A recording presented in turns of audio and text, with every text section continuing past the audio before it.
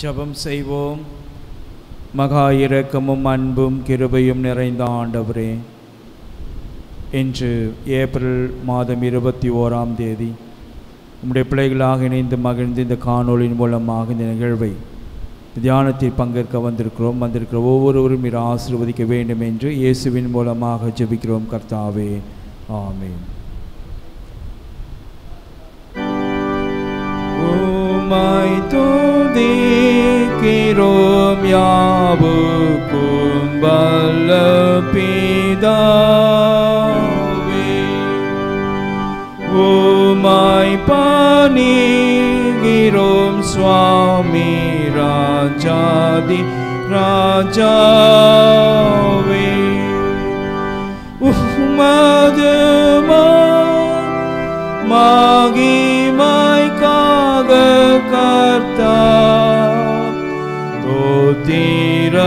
சொல்லுகிறோமே.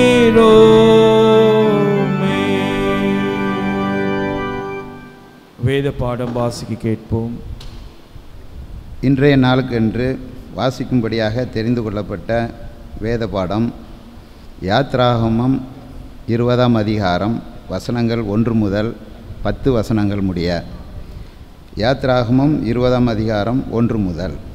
தேவன் பேசி சொல்லிய சகல வார்த்தைகளும் ஆவன உன்னை அடிமைத்தன வீடாகிய எகிப்து தேசத்திலிருந்து புறப்பட பண்ணின உன் தேவனாகிய கர்த்தர் நானே. என்னையன்றி உனக்கு வேறே தேவர்கள் உண்டாயிருக்க வேண்டாம்.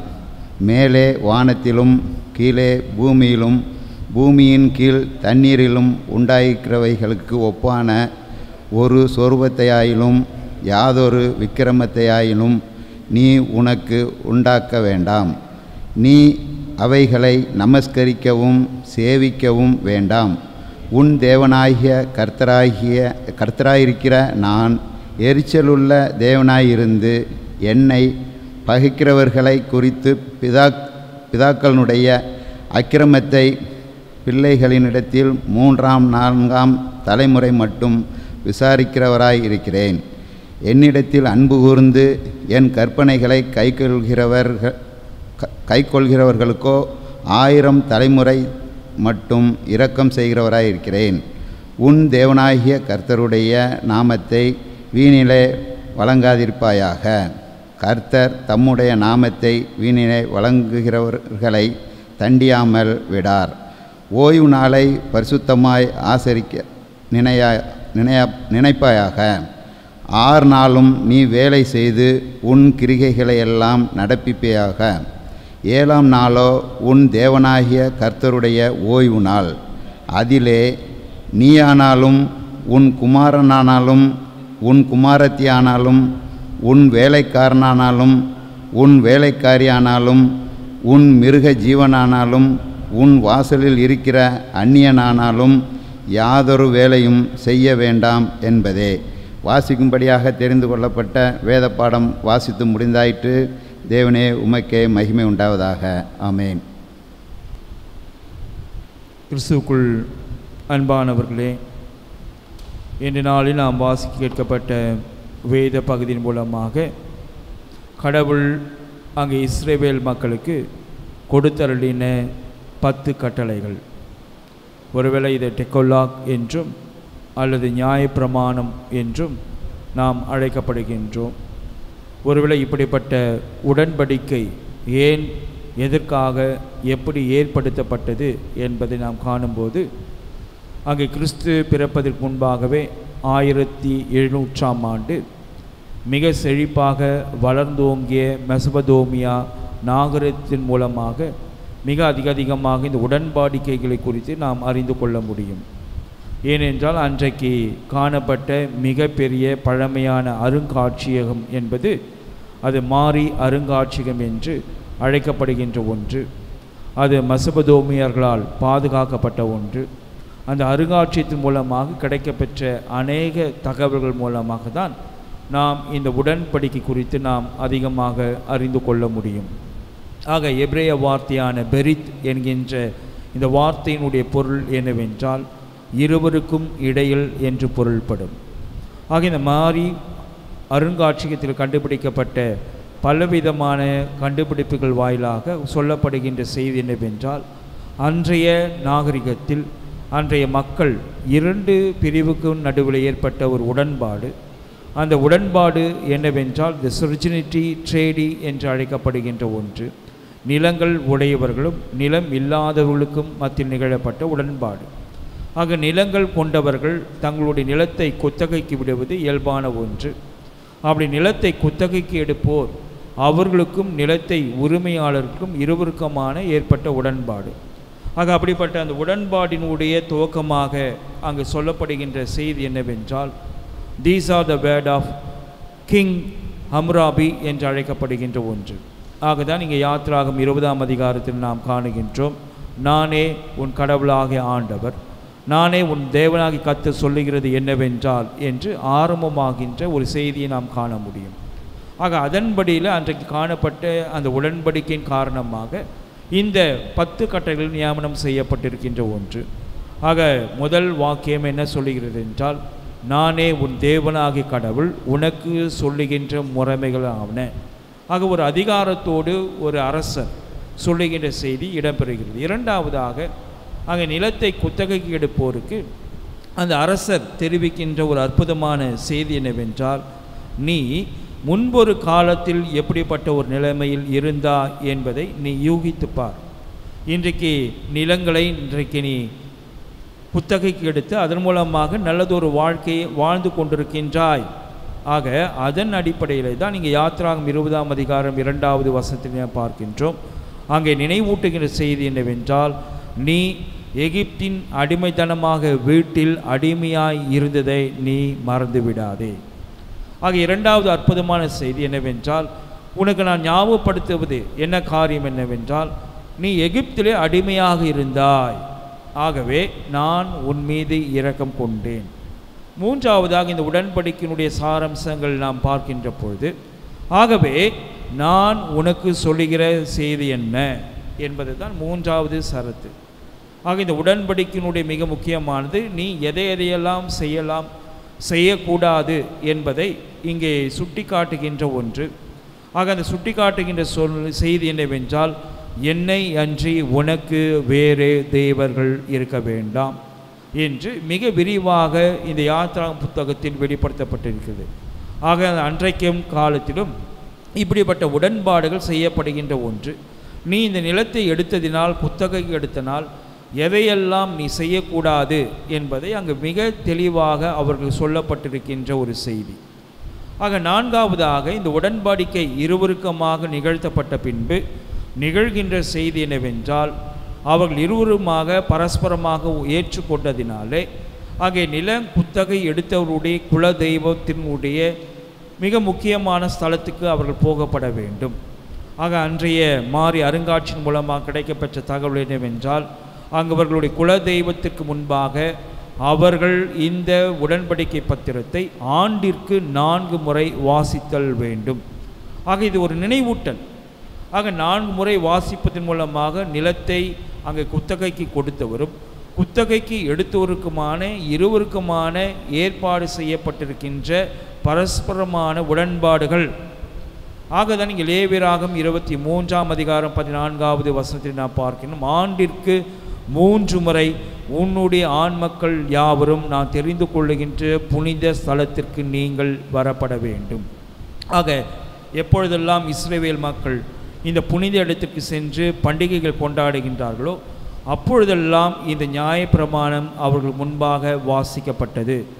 ஆக நானே உன் தேவனாகிய ஆண்டவர் உன்னையன்றி உனக்கு வேறே கடவுள் இருக்கக்கூடாது என்று சொல்லி கடவுள் இந்த உடன்படிக்கை பத்திரத்தை அவர்கள் முன்பாக வாசிக்கின்ற பொழுது மக்கள் அனைவருமாக எழுந்து நின்று ஆமேன் நாங்கள் அப்படியே செய்வோம் என்று அங்கே உரிமையாளருக்கு அவர் உத்தரவாதம் கொடுப்பது போலவே இங்கேயும் இந்த இஸ்ரேவேல் மக்களும் கூட யாவேக்கு முன்பாக அவனமான உறுதிமொழியை எடுத்துக்கொண்டார்கள் ஒருவேளை அன்பானவர்கள் இன்றைக்கு பலதரப்பட்ட திருச்சபைகள் இன்றைக்கு தென்னிந்திய திருச்சபையில் காணப்படுகின்ற ஒன்று அதனுக்காகவும் பல்வேறு விதமான வழிபாடு முறைகளையும் பல்வேறு விதமான பின்ன பின்னமைப்புகளும் கொண்ட ஒன்று. ஒருவேளை இன்றைக்கு ஆங்கிலிக்கன் திருச்சபை என்று அழைக்கப்படுகின்ற ஆங்கிலிக்கன் திருச்சபைக்கு நீங்கள் செல்வோம் என்றால் ஒவ்வொரு வாரமும் இந்த பத்து கற்பனைகள் தவறாமல் ஆயர் அவர்கள் வாசிக்க வேண்டும். அங்கே எதிரில் அமர்ந்திருக்கின்ற சபை மக்கள் அனைவரும் நாங்களும் அப்படியே செய்வோம் என்று அவர்கள் பாடல் வழியாக அல்லது வாய் வழியாக வார்த்தையின் வழியாக அவர் சொல்லுவது உண்டு. ஒருவேளை இந்த ஆல்டர்க்கிலே காணப்படுகின்ற நம்முடைய ஆலயத்தை சிலுவையை நாம் காணுகின்றோம். ஆனால் ஆங்கிலிக்கன் திருச்சபையில் அப்படிப்பட்ட சிலுவை காண முடியாது. மாறாக கற்பனைகள் எழுதப்பட்ட கத்து கற்பனைகளும் அவர்கள் பதிவு செய்து வைத்திருப்பார்கள். ஆக அப்படிப்பட்ட ஒரு நிலைமை அப்படிப்பட்ட ஒரு நியாயப்பிரமாணத்தை மக்கள் ஏற்றுக்கொண்டார்கள். நான்காவதாக நாம் காணுகின்ற செய்தி என்னவென்றால் இந்த இரு குரு கு- பிரிவினருக்கும் ஏற்பட்ட உடன்படிக்கின் சாரம்சமாக அவர்களுக்கு சாட்சியாக அங்கே அமைக்கப்பட வேண்டியது இயற்கைதான். ஏனென்றால் இது கடவுளுக்கும் மனிதனுக்கும் ஏற்பட்ட உடன்பாடு. ஆக மனித இனத்திற்கும் கடவுளுக்கு ஏற்பட்ட உடன்பாடு. ஆக இந்த மனிதர்கள் அல்லாத அனைத்து இயற்கைகளும் கூட அங்கே கடவுளுக்கு முன்பாகவும் மனிதருக்கு முன்பாகவும் ஒரு சாட்சியாக நிறுத்தப்படுகின்ற ஒன்று. ஆகதான் கடவுள் நோவாவின் காலத்தில் ஜலப்பிரயாத்தின் மூலமாக அழித்த அந்த இறைவனானவர் அங்கே உனக்கும் எனக்கும் நடுவாக உடன்படிக்கையாக நான் வானத்திலே வானவில் ஒன்று நான் ஏற்படுத்துகிறேன் என்று சொல்லி இந்த வானவில்லை கடவுள் சாட்சியாக வைத்தார். அன்றைக்கும் இப்படிப்பட்ட பழங்கால மேற்காசிய நாடுகளில் இந்த உடன்படிக்கை சாரம்சமாக சாட்சியாக வைத்திருப்பது இயற்கைதான். ஆகதான் இங்கே நாம் காணுகின்றோம் உவாகம் முப்பத்தி இரண்டாம் அதிகாரத்தை நாம் காணுகின்ற பொழுது அங்கே யோசுவா சொல்லுகின்றார் வானங்களே கேளுங்கள் என்று சொல்லி அங்கே வானங்களை சாட்சிகளாக வைத்து அங்கே கடவுளுக்கும் மனிதனுக்கும் முன்பாக இந்த உடன்படிக்கை வாசிக்கப்பட்டது. ஆக ஐந்தாவதாக நாம் காணுகின்ற இந்த செய்தியினுடைய சாரம்சத்தை நாம் காணுகின்ற பொழுது அங்கே இந்த ஒரு வேளை இந்த உடன்படிக்கை அனைத்தும் நீங்கள் மதித்து நீங்கள் நடைப்பீர்கள் என்றால் உங்களுக்கு ஆசீர்வாதங்கள் வழங்கப்படும். ஒருவேளை நீங்கள் பத்து கட்டங்களை நீங்கள் மீறுவீர்கள் என்றால் உங்களுக்கு சாபமே கொடுக்கப்படும் என்று திட்டவட்டமாக இந்த பத்து கற்பனைகளை அளித்த கடவுளானவர் இந்த கற்பனையின் மூலமாக எழுதி வைத்திருக்கின்றார். ஆகதான் உபாகமம் இருபத்தி எட்டாம் அதிகாரத்தில் நாம் காணுகின்றோம். அங்கே ஆசியும் சாபத்தையும் உமக்கு முன்பாக நான் வைத்திருக்கின்றேன் என்று சொல்லி இந்த இருபத்தி எட்டாம் அதிகாரம் முதலாவது வசனத்திலே அங்கே கடவுள் மிக தெளிவாக குறிப்பிடுகின்றார். ஆக அன்றைக்கு குத்தகை எடுத்தவர்கள் முன்பாக ஆசீர்வாதங்கள் வைக்கப்பட்டது. நீ இதை அனைத்தும் பின்பற்றி நடந்து கொண்டு வருவாயான்றால் நீ எடுத்த காலத்தினுடைய உரிமை ஆனது நீட்டிக்கப்படும். அல்லது நீ மீறுவாய் என்றால் உனக்கு கொடுக்கப்பட்ட உரிமைகள் அனைத்தும் பறித்து கொள்ளப்படும் என்று அங்கு நிலத்தின் உரிமையாளர் செய்து கொள்ளுகின்ற ஒரு உடன்படிக்கை. ஒரு அன்பானவர்களே அதன் அடிப்படையில் தான் இங்கும் கடவுள் ஒரு பத்து கற்பனைகளை அந்த இஸ்ரேவேல் மக்களுக்கு கொடுத்திருக்கிறதை நாம் காணுகின்றோம். ஒருவேளை அன்பானவர்கள் இன்றைக்கு ஜைன மதத்தை சார்ந்தவர்கள் மகாவீரர் கற்றுக் கொடுத்த மிக முக்கியமான எட்டு போதனைகளை அவர்கள் பின்பற்றுவார்கள் என்றால் மோட்சத்திற்கு செல்ல முடியும் என்று இன்று ஜெயினிசம் சமயமானது வலியுறுத்துகிறது. புத்த மதம் என்ன சொல்லுகிறது என்றால் புத்தாவினுடைய ஃபைவ் ஃபோல்டு டீச்சிங்ஸ் புத்தாவினுடைய ஐந்து போதனைகளை நீங்கள் பின்பற்றுவீர்கள் என்றால் மோட்ச வாழ்விற்கு செல்ல முடியும் என்று போதிக்கின்றது.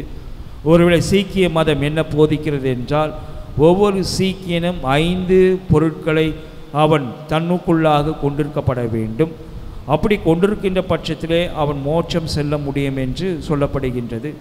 ஒருவேளை இந்து சமயமானது என்ன சொல்லுகிறது என்றால் வரணாசிரம தர்மத்தை நீங்கள் பின்பற்றுவீர்கள் என்றால் நீங்கள் கண்டிப்பாக ஒரு முழுமையான மனிதனாக இருக்க முடியும் என்று போதிக்கின்றது.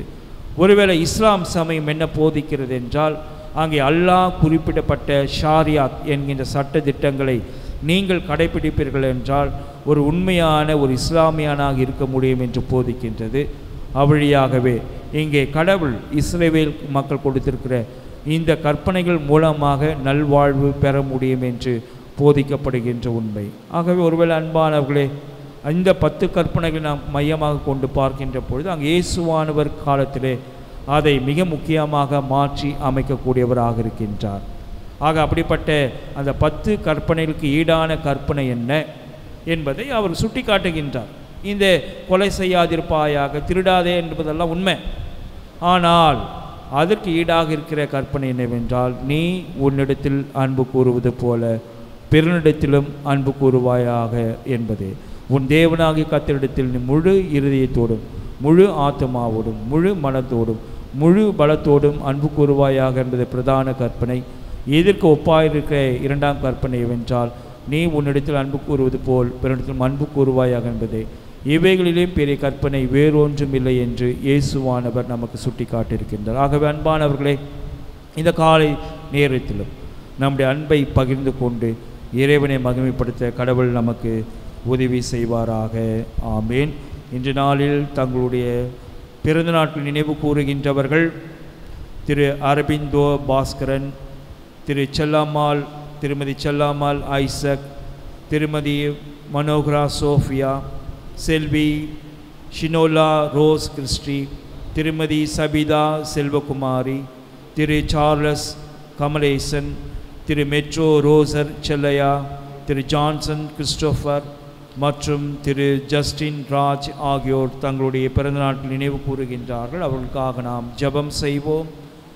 மகா இரக்கமும் அன்பும் கிருபையும் நிறைந்த ஆண்டவரே இன்று நாளில் பிறந்த நாளை நினைவு கூறுகின்ற அனைவரையும் பேர் பேராக ஆசிர்வதியும்.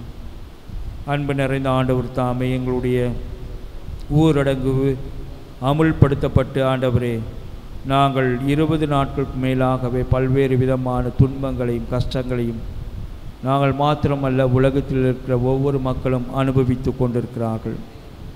இறைவன் தாமே விதமான இக்கட்டுகளிலிருந்து நீர் எங்களை காப்பாற்றி எங்களுக்கு மிகுந்த மகிழ்ச்சி மனநிறைவும் தருகின்ற வாழ்வாக நீர் மாற்றி தாரும். மே மாதம் பத்தாம் தேதி முதற்கொண்டு நாங்கள் வழிபடுவதற்கான வாய்ப்புகளை நீர் எங்கள் தந்திரல வேண்டும் என்று இயேசுவின் மூலமாக ஜெபிக்கிறோம் கர்த்தாவே. ஆமே நம்முடைய ஆண்டவராக இயேசு கிறிஸ்துடைய கிருபையும் பிதாவாக தேவனுடைய அன்பும் தூய் ஆவியானவர் வழிநடத்துதல் நம் அனைவரோடும் இன்றும் என்றும் சதா காலங்களிலும் நிலைத்திருப்பதாக. ஆமே